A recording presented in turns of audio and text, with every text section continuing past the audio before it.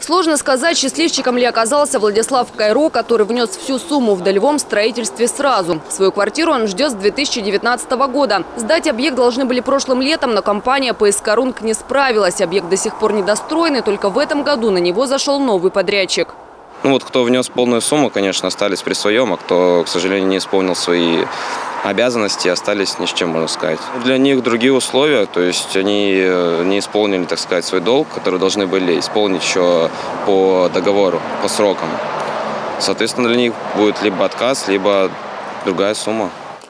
Владиславу доплачивать не придется, хотя с 2019 года квадратный метр подорожал с 80 тысяч рублей до 117 тысяч. Из 47 дольщиков полную стоимость оплатили всего 20 человек. Они перезаключили договор с новым застройщиком по прежней стоимости квадратного метра. Решить вопрос с остальными помогло региональное министерство строительства. Договоры э, расторгнуты по причине неисполнения ими обязательств по наполнению искровых счетов. Э, в случае, если э, дольщик вносил э, денежные средства в ПСК РУНК наличными средствами, денежные средства будут возвращены в полном объеме. Первые семь выплат уже произведены.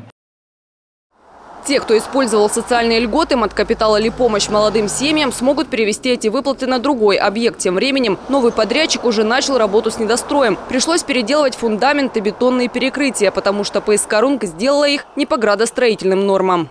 Сложно всегда за кого-то что-то доделывать. А, конечно, есть свои проблемы, свои э, как бы сложности и трудности в данной стройке. Оцениваем, что это все осуществимо, как бы главное приложить э, руки и голову, так скажем, для того, чтобы все э, возвести на стопроцентный уровень, чтобы ввести дома в эксплуатацию. Достраивать придется три дома. В каждом есть одна, двух- и трехкомнатные квартиры. С приходом нового застройщика увеличился и размер жилплощади. Раньше здесь было около 70 квартир, теперь будет 94.